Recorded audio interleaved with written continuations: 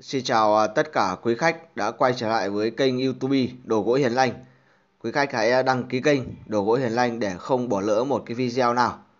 Vâng và trong thời gian gần đây, cơ sở đồ gỗ Đồ Thời Hiền Lành đã nhận được à, rất nhiều phản hồi từ phía khách hàng. Ờ, cơ sở sẽ giới thiệu thêm một vài mẫu sập thờ được làm từ chất liệu gỗ Mita. Và quý vị và các bạn đang có rất nhiều thắc mắc đó là gỗ mít là gì và gỗ mít thuộc nhóm mấy. Tại sao trên thị trường Ờ, dân dùng chúng ta lại hay dùng ờ, sập thờ gỗ mít hơn ờ, các cái dòng sập thờ gỗ gụ. Hôm nay ngày 12 tháng 7 năm 2021, cơ sở đồ gỗ đồ thời lanh tiếp tục giới thiệu tới quý vị và các bạn một chiếc sập thờ hay còn gọi là chiếc bàn thờ gia tiên được làm trên chất liệu gỗ mít ta. Đây là đơn đặt hàng tới từ gia đình anh Trương Mạnh Hà. Anh đang sinh sống tại Tuần Giáo Điện Biên. Anh đã đặt hàng online một chiếc sập thờ gỗ mít ta chân 20 với ờ, thông số kích thước là dài 2m17, chiều sâu 1m07, chiều cao là 1m17. Chân là chân 20 được làm từ chất liệu gỗ mita. Kích thước dài 2m17 thuộc cung Tài Lộc, 1m07 thuộc cung Phong Thủy Quý Tử, 1m17 thuộc cung uh, Tài Đức và Phúc Tinh. Phía dưới phần chân được điêu khắc kỳ lân hay còn gọi là nghê đây ờ, ý nói là tình ở mẫu tử. Bên trên tức là nghe mẹ, phía dưới là nghe con. Bên trên cũng được đục ờ, đầu lân chân móng. Được đục tay thủ công 100% rất là có hồn và bắt mắt. Chúng tôi làm theo mẫu ảnh tới từ gia đình. Chúng tôi sẽ bàn giao trong đầu tháng 8 để cho gia đình vào nhà mới và sẽ được sơn son thép vàng phủ hoàng kim.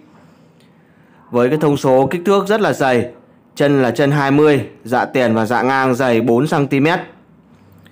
Dạ liền 35cm, còn uh, dạ tiền là ghép lên là 38cm thuộc cung uh, Tiến Bảo và Tài Đức và dạ ngang là 23cm thuộc cung Thuận Khoa. Được làm trên nền chất liệu gỗ mita theo mẫu ảnh. Dạ ngang là đục uh, hổ phù, kèm theo đó là có các cái cây uh, tứ quý, tùng cúc, trúc mai thể hiện bốn mùa xuân hạ thu đông chân là chân nghê và được làm từ 100% chất liệu gỗ mít lõi. Và tại sao chúng ta nên làm bằng chất liệu gỗ mít thì trong video clip này chúng tôi cũng giải thích luôn. Bởi vì gỗ mít là một loại gỗ tự nhiên được lấy từ cây mít. Cây gỗ mít này có nguồn gốc từ ờ, phía Nam Ấn Độ. Vùng có khí hậu nhiệt đới và lượng mưa giống với Việt Nam. Và hiện nay thì gỗ mít được ờ, phân bố rất là rộng rãi trên ờ, Việt Nam. Chủ yếu là ở Đắk Lắk, Tây Nguyên và gỗ mít thuộc nhóm mấy? Gỗ mít chúng tôi cũng à, giới thiệu luôn. Gỗ mít là thuộc nhóm 4 trong các dòng gỗ quý và được ứng dụng trong đời sống để đóng các đồ gỗ nội thất như à, sập thờ, ban thờ gia tiên, đỉnh, đèn, đài nến hay là cuốn thư câu đối hoành phi. Và về đặc điểm của gỗ mít và vì sao ờ, hiện nay người dân có xu hướng chọn loại gỗ này để làm các cái đồ thờ cúng thì với kinh nghiệm là nghệ nhân lâu năm, chúng tôi cũng chia sẻ luôn, gỗ mít có đặc điểm đó là thớ gỗ mềm, không bị cong vênh và ít, rất ít khi bị mối mọt. Gỗ mít có mùi thơm nhẹ, vô cùng đặc biệt. Về thân gỗ thì rất là dẻo và có độ cứng vừa phải. Gỗ không có nhiều vân và lại có nhiều mô ở trong mạch nên rất phù hợp để làm bàn thờ, sập thờ, tượng và ngai thờ. Gỗ mít được trồng tại Việt Nam, có cái chất gỗ rất là đẹp và tâm gỗ to hơn cái gỗ mít nhập khẩu từ nước ngoài. Gỗ có độ bền cao và tuổi thọ lớn, khoảng vài chục năm tới cả trăm năm. Và ngược lại với ờ, các cái ưu điểm của gỗ mít thì ờ, gỗ mít lại có một cái nhược điểm rất là lớn. Thì trên thị trường Việt Nam hiện nay thì gỗ mít ta không còn các cái cây to. Nếu còn các cây to thì chúng tôi sẽ thiết kế để làm các cái chân sập to và các cái dạ liền còn phần gỗ bé thì chúng tôi sẽ dùng để làm uh, các cái ván mặt. Trên hình quý vị và các bạn đang xem và đang được chiêm ngưỡng là chiếc sập thờ mang thông số kích thước dài 2m17 toàn bộ ván mặt là được chúng tôi uh, ghép 5 tấm. Đây là điển hình và cũng là đặc trưng của gỗ Mita về cái nhược điểm thì gỗ không có gỗ to vì thế nguyên phần mặt chúng tôi phải ghép 5 tấm lại với nhau để đảm bảo cho quy trình sử dụng. Và phía dưới phần mặt ban thờ có 9 chiếc thang được chống đỡ rất là khỏe và về màu sắc của chất liệu gỗ mít thì gỗ mít ta khi mới xong mộc thì có màu vàng ươm, vàng sộm và sau khi để lâu, để khô thì có màu à, nâu sẫm hoặc nâu đỏ. Đó là về đặc trưng của gỗ mít.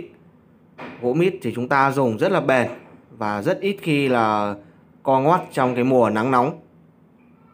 Và nếu là chất liệu gỗ khác thì trong mùa nắng nóng độ co gót rất là mạnh. Nhưng khác biệt, đối với chất liệu gỗ mita thì gỗ mita bền hơn rất nhiều.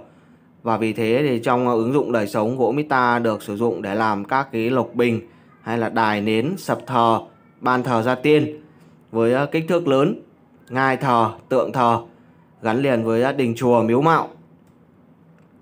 Quý khách hàng có nhu cầu làm về sập thờ hay các đồ thờ cúng bằng tâm linh bằng chất liệu gỗ mita hãy liên hệ trực tiếp cho chúng tôi qua hai số hotline 0986 883349 hoặc 0985 226684. Chúng tôi là làng nghề La Xuyên, xã Yên Ninh, huyện Ý Yên, tỉnh Nam Định. Và chiếc dạ tiền của sập thờ này được đục theo tích đó là đầu hổ phù, hóa cây mai. Hai bên thì có đục các cái chú chim điểu và cành hoa hồng theo với mẫu của gia đình yêu cầu. Khác với ờ, sập thờ mai điểu hay sập thờ tứ linh. Nếu như ờ, sập thờ tứ linh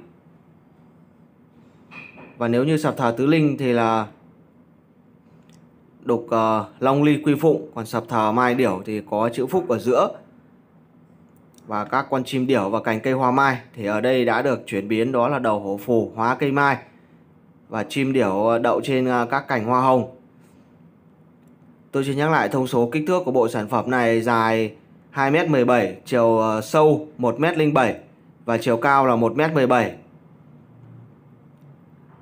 Phần sau ờ, hoàn thiện chúng tôi sẽ giới thiệu chi tiết công đoạn ờ, làm phủ hoàng kim, sơn son thép vàng và được bàn giao tới tay khách hàng trong đầu tháng 8.